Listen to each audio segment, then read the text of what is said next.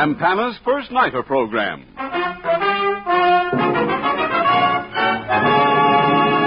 From the Little Theater off Times Square. Starring Olan Soule and Barbara Luddy with an all-star cast presented by Campana, the quality name in cosmetics.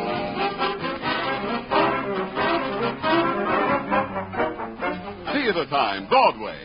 And on this New Year's night, a new play makes its bow to the public from the stage of the Little Theater off Times Square. It's an exciting event because hosts of celebrities always attend these opening nights on the Great White Way. And to be sure that you miss none of the fun, here's your host for the evening, the genial First Nighter. Good evening, ladies and gentlemen. I'm delighted that you can join our party. The theater is just a few blocks away, and here's my cab. Shall we start? All right, driver, to the Little Theater, please. Up Broadway, across 42nd Street. Here was the scene last night of one of the greatest New Year's Eve celebrations in history. The crowds were thick in Times Square, and tonight it's by no means deserted. Just ahead now is the Little Theater. Well, here we are. My gracious, that girl must have a magic touch. She's surrounded by photographers. I understand we'll all have a magic touch next week. Have your tickets ready, please. Have your tickets ready, please. Good evening, Mr. First Nighter. The usher will show you to your seats. Thank you. We'll go right in. Well, ladies and gentlemen, we're in our seats, and I must say as I look over the audience that every woman here tonight must have the magic touch. I never saw so much beauty. But tonight's play is a comedy romance called The One in the Middle, written by Virginia Safford Lynn and co-starring Olan Soule and Barbara Luddy. That sounds like just what the doctor should order for New Year's night, a chance to relax and laugh. Mr. Soule, I see by the program, is to play the part of Peter Randolph, a recently returned vet. Miss Luddy is cast as Franny, a young lady tentatively engaged in the pursuit of higher education. And what an all-star supporting cast, including Bea Benaderet as Tabby Randolph, Peter's sister, Sandra Gould as Maudie, Jane Webb as Jean, and other famous names. But now, before first curtain, let's listen to Frank Worth and his First Nighter Orchestra.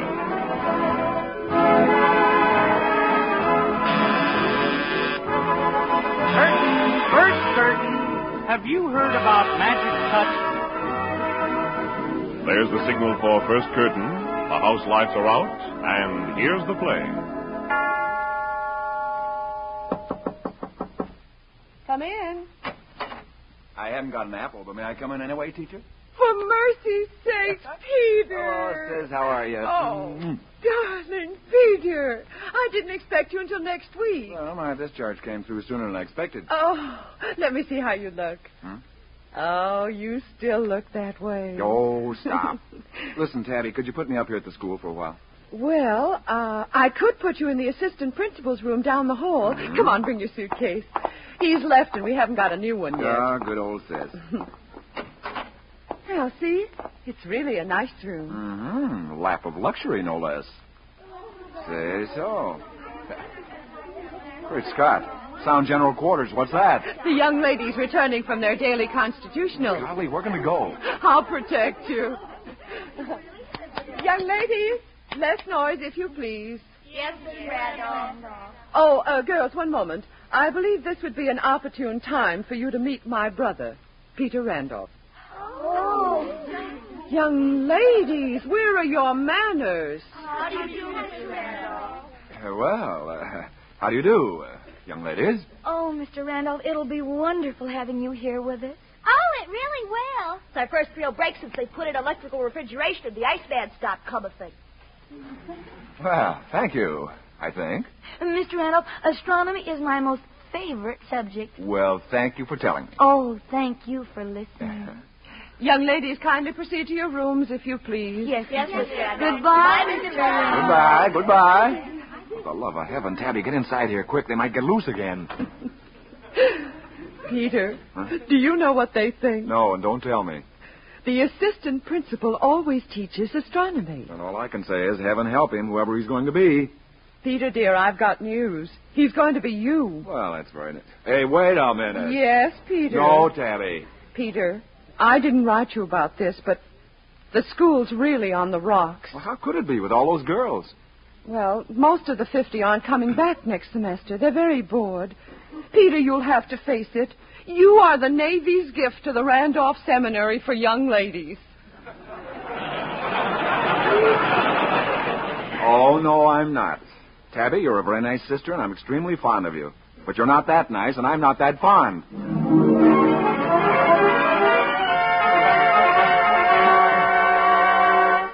Now, this is your classroom, Peter. But, Tabby, I don't know anything about astronomy. Neither do they, so you'll start even. Uh, You're asking one poor lone guy to face 50 girls. Oh, only two of the girls take astronomy. Only two?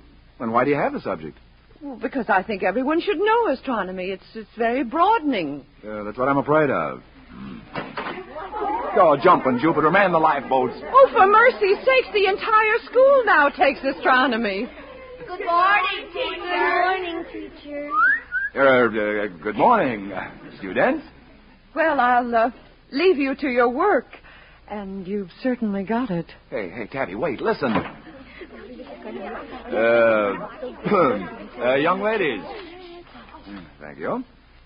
Uh, as you know, we are gathered together here to find out all about the uh, romance of the stars. Mr. Randolph, my favorite star is Ronald Colman. Oh, really? Mine's Claudette Colbert. Uh, the uh, class will come to order, please. Are there any questions? Yes, Miss. Uh, Uh, Francis Emerson, but everyone calls me Franny, and I do hope that you will too, Mr. Randolph. thank you very much. You have a question, Franny? No, thank you, but I'm sure I will have later. Uh, well, now, do we have any textbooks or star maps around here? My name's Jean Taylor, and the books are on your desk. My name's Maudie Dexter, and there's a star map in back of you. Well, what do you know? My, just look at all these stars. Now, who can tell me the names of all these stars? Uh, well, on to the next exercise. Now, uh, here's an attractive-looking uh, constellation or something. Uh, Mr. Randolph, could that possibly be the Big Dipper? Why, Franny, that's very clever of you because it is the Big Dipper, I think. and in military circles, they call it Ursa Major. oh, come now, it wasn't that funny. Now, if you'll all please look at the star map. Over here we have, uh, uh, at the map, girls, please. Mr. Randolph, don't you think the moon's at its best in a canoe on a summer night? Well, uh, personally, I never knew they could get the moon into a canoe. now we'll move on to the subject of eclipses. Now, this is caused by the sun getting in the way of the, uh, uh, or rather, the uh, moon gets between the. Well, suppose we put it this way: when the moon and the sun and the earth. And So you have the planets, if anyone wants them. And now, let us take a quick peek at meteors. When the. Uh, who's doing the whispering back there? Franny, is that a note you have in your hand? Well, I, I, I. What did you say, Mr. Randolph? I can't have that sort of thing going on in my classroom, you know. Francis Emerson, bring that note to teacher at once. Yes, uh, Mr. Randolph. Here. Yes, thank you. Now, much as I dislike doing this, I shall have to make an example of you, Franny. The note reads as follows Dear Maudie, hasn't he the darlingest wave in his hair? Yes. you may return to your seat, Miss Emerson. Yes, Mr. Randolph. Now, here we have a very interesting picture of the sun. Now, let's see what the caption says beneath it. Well, it says the sun. what are those bells that keep ringing? They're the bells for all our other classes, Mr. Randolph. Oh, well, class dismissed. Hey, girls. Hey, listen, girls. Hey! Young ladies, proceed at once to your other classes. Oh, yes, Miss Randolph. Goodbye, Mr. Randolph. Come on, girls.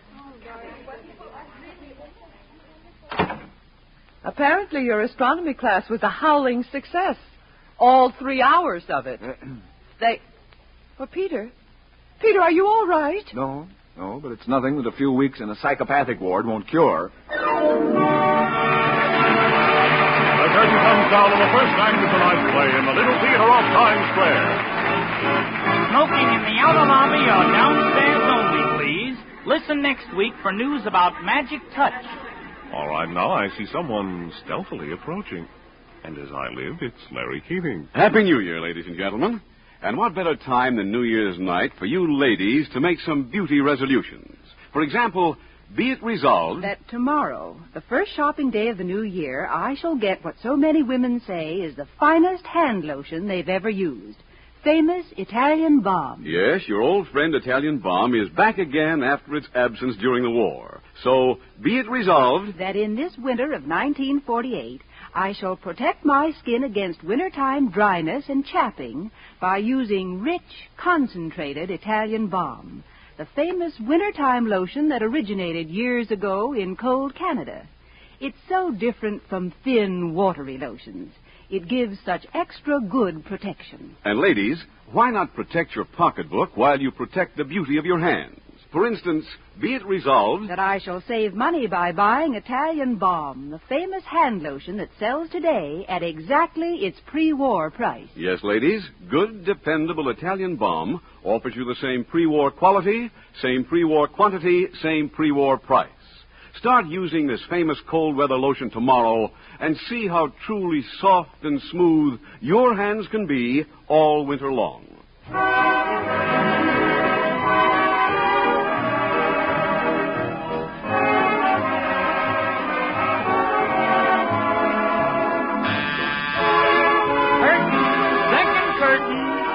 You'll learn about Magic Touch next week.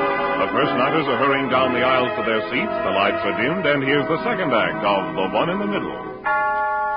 Oh, Mr. Randolph, could I speak to you a minute? Why, yes, Miss uh, uh, Franny. Well, I, I just wanted to say I'm awfully embarrassed about that note I wrote in class today. You're embarrassed. Franny, could we please just forget it ever happened? Oh, I think it's awfully nice of you to take that attitude, Mr. Randolph. Yes, as a matter of fact, it is very nice of me. I should make you stand in a corner for five minutes. And, come to think of it, you look rather cute standing in a corner. Why, Mr. Randolph, what do you mean? I have no idea. Let's just forget about that, too, shall we? Now, if you'll excuse me, I have to see my sister about something very important, I'm sure. Oh, I didn't mean to disturb you, Mr. Randolph.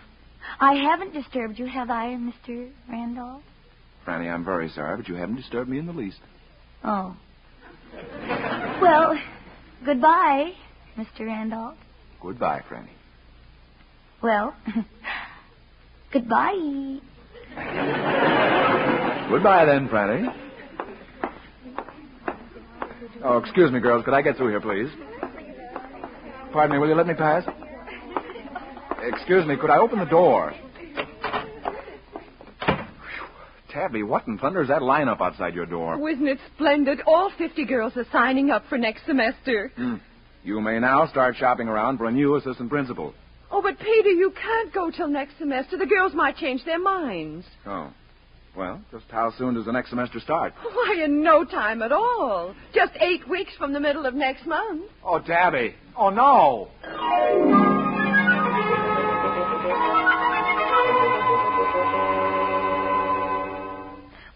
Must be losing our grip. We've worked on him now for three weeks. I think he likes the type of girl who could be a real pal to him. Oh, Jean, I think he prefers a cuddly type. I really do.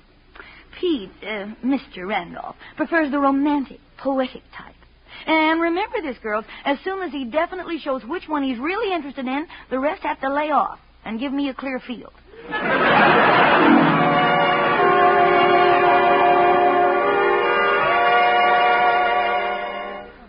there, Mr. Randolph. Oh, hello, Jean. Isn't it a swell day? I'll bet you're dying for a game of tennis. Of course, with the right partner. I mean, the kind of girl who's nuts about outdoor life and who can play golf and ride and hike, even with a cold. Jean, would you care to wrestle? Why, yes. Mr. Randolph, where are you going? Pardon me while I dash out and rip off a couple of hundred yard sprints. Oh, Mr. Randolph.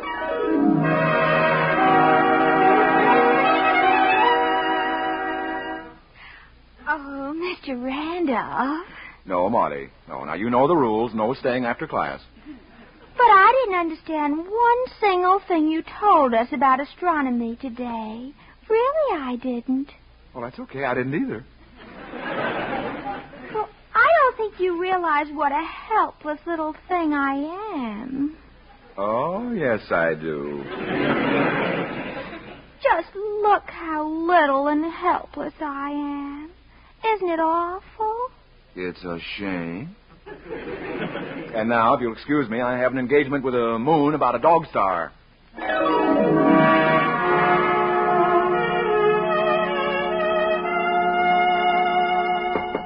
Yes, just a second.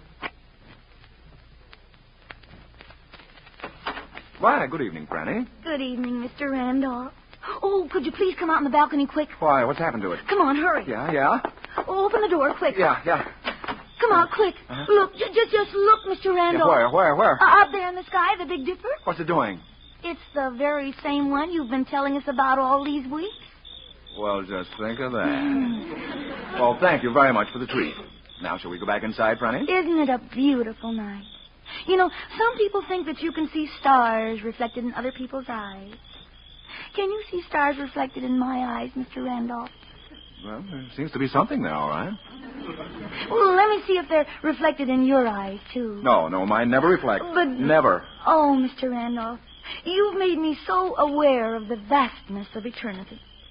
Somehow there's such an awful lot of eternity. It's all so sweet and brief and fleeting. You are so right. Here today, gone tomorrow, like. Isn't it true? The bird of time has but a little way to flutter. And this bird is on the wing. But Mr. Randolph, oh dear.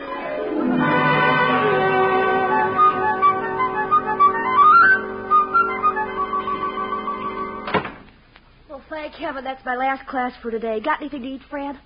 Oh, cheese and crackers. Gimme. Say, Jean, do you know that the cook is making a coconut cake because she's found out he loves coconut cake even though it always makes him sick? Oh, then we could nurse him. Somehow, somehow we three don't seem to be getting anywhere. Well, maybe he's fallen for one of us and is hiding it bravely. Certainly. Why, I can sense it every time he looks at me. Gee, when he looks at me, I don't sense anything. And, and, and, the tone of his voice when he speaks to me. The touch of his hand. Wait a minute. When did he ever touch your hand, Franny? Wednesday morning at 10.33. I was erasing the blackboard and asked him to help me lift the eraser. You trying to tell us that he's fallen for you? All right, I'll prove it. This time of afternoon, he always goes for a stroll. When he opens the front door, the three of us will be standing there. And remember, girls, you're on your own.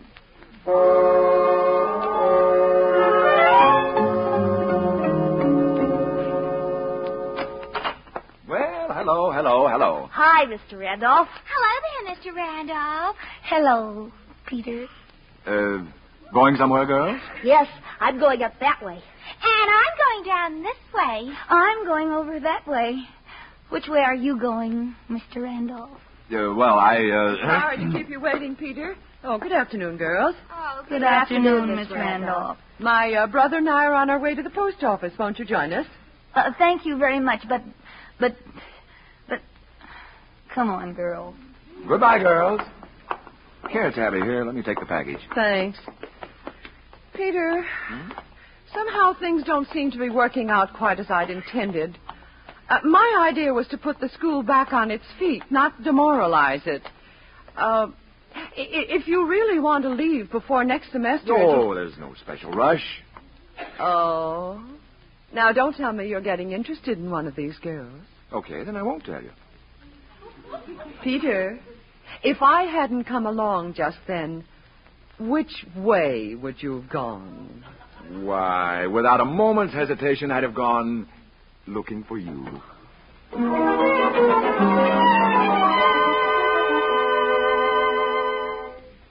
Marty, give me some cookies. You know, we've still got to find out which one of us it is. If we could only all be in some kind of danger, then he'd rescue one of us. Then we'd know, or at least the rest of you would. Maybe we could sort of get in a rowboat and drown. Uh, just kinda, I mean. How about a runaway horse? With all 50 of us on its back? oh, wait, listen. He's coming down the hall. I know his step. Quick, open the door a crack. Open wider, Jean. I can't see. Oh.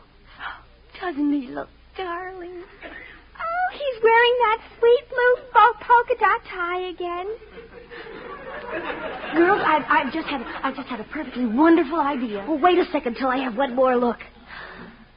Oh, my. Okay. Close the door and come here.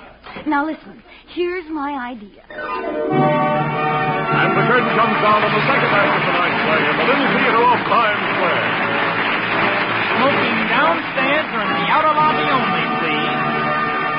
Come again next week, ladies, and hear all about the magic touch. And now, ladies and gentlemen, let me bring you in person Larry Keating. Ladies, why are your hands so dry tonight, so rough and scratchy? Because in winter, the dry indoors air and cold, dry outdoors air and wintry winds all combine to rob my skin of its natural moisture every minute of the day. Right. And what is the best thing, do you think, for that? Well, thousands like myself say Italian balm. This famous lotion puts back moisture into my skin, helps it keep soft and smooth. Does it so quickly, too.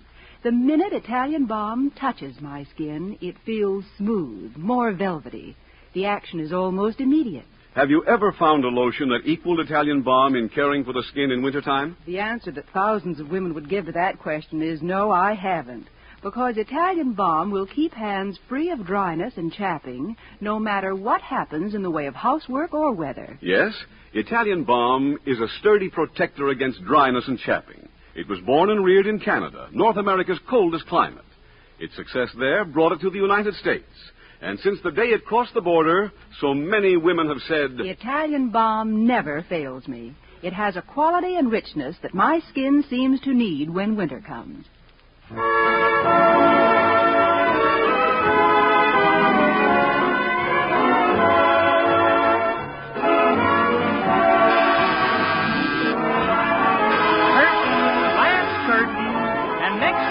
About magic touch. The first nighters are all in their seats, ready for the last act.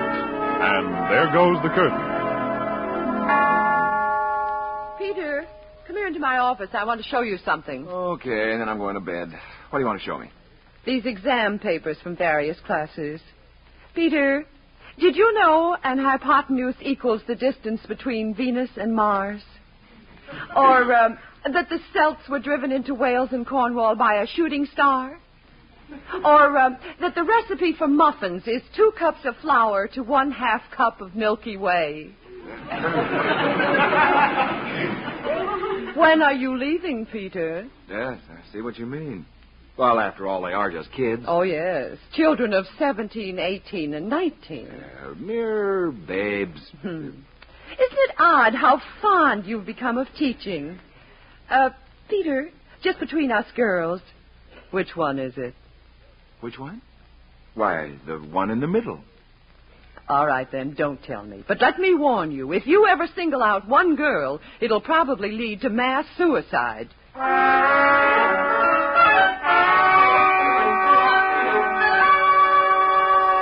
Shh, now, now, now, be quiet, girls. And, and stand back so I can open the furnace door. Give me the rags and stuff, Jim. Oh, wait a second, Fred. Put just a little more oil on. Oh. Oh, wouldn't it be awful if the register in his room wasn't open? Don't worry, I went in and opened it wide while he was in Miss Randolph's office. You better give me the matches, Jean. Here. This is going to make lots and lots of lovely smoke. I'll say it does. Close the furnace door, Fred. Now let's get back upstairs. Maudie, you and Jean go to your rooms and stay there. Then when Peter comes to rescue me, keep out of his way. Well, I think he'll come to rescue me. I really do. Let the poor girl dream. I'll be the one who'll tell you girls what it was like.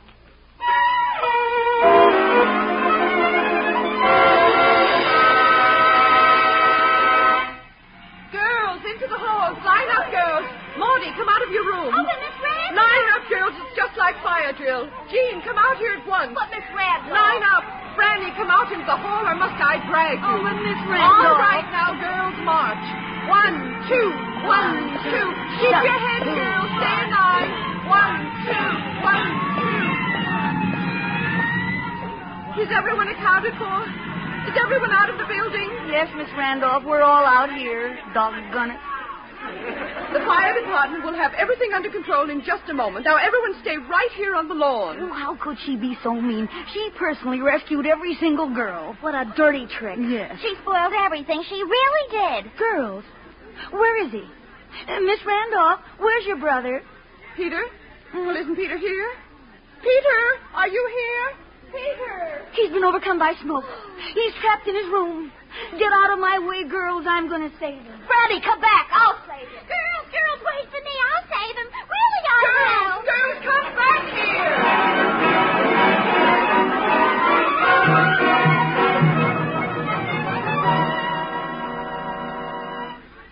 There he is, still in bed, overcome with smoke. Quick, Jean, you take his feet. You take his feet. I'll take his head. Doesn't he look darling in pink and blue stripes? Uh, what's Marty, get his other shoulder. Now, all together. Lift. Oh. Isn't he wonderful and heavy? Hey, hey, hey, what's going on? Oh, girls, go away. Don't be frightened, Peter. We're saving you. For what? You've been overcome by smoke. What smoke? Smoke from the. Oh, there isn't any smoke in here. Oh, Peter, how could you? You close your register. Oh. Oh. Oh. Well, don't just stand there. Somebody pick me up.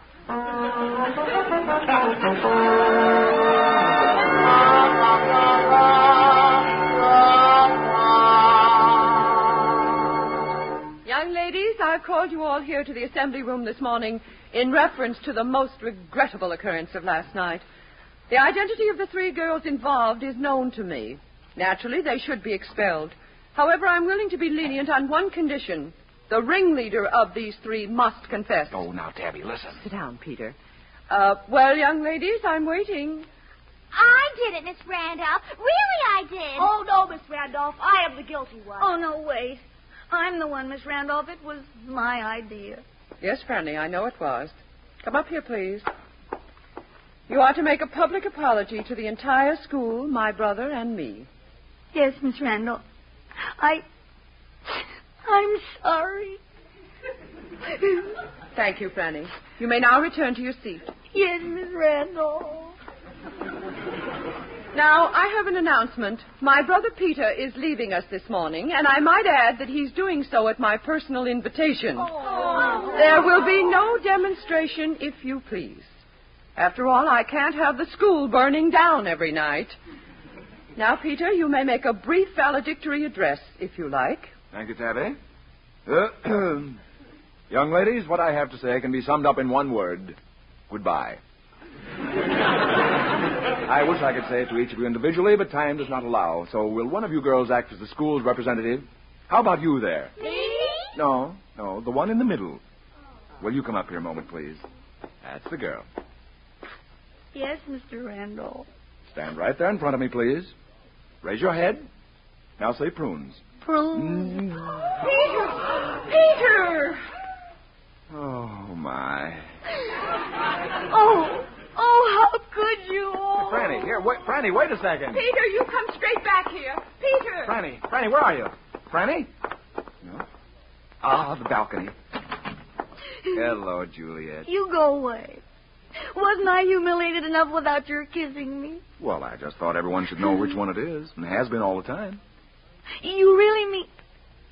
Oh, no, you're just saying that. Ah. Darling, come here. Oh, no. Now, wait. Pl- oh, please. Oh, Peter. Mm. Mm-hmm.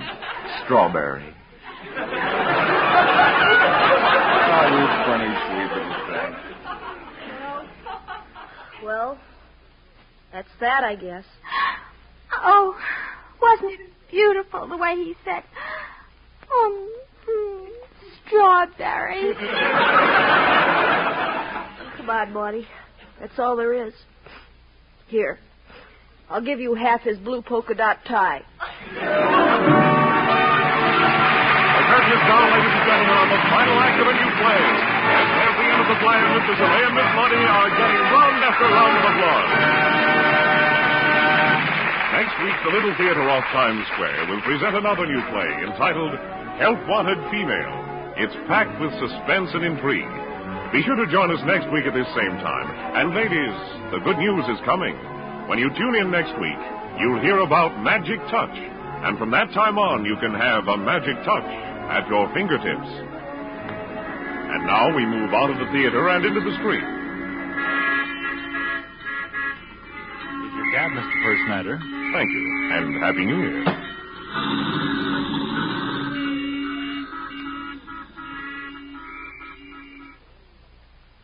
Campana's First Nighter program, starring Barbara Luddy and Olan Soule, is a copyrighted radio feature. Tonight's play was pure fiction and did not refer to real people or actual events.